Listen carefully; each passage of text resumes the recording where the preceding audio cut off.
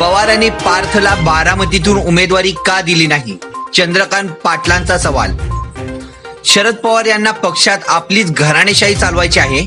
त्यामुळेच त्यांनी पार्थ पवार याला डावळून सुप्रिया सुळे यांना बारामती उमेदवारी दिली. त्यांना पार्थ पवार निवडून यायला हवे होते. तर त्यांनी पार्थला बारामतीतून उमेदवारी का दिली नाही? असा सवाल महसूल मंत्री चंद्रकांत पाटील यांनी महाबळेश्वर येथील कार्यकर्त्यांच्या मेळाव्यात केला.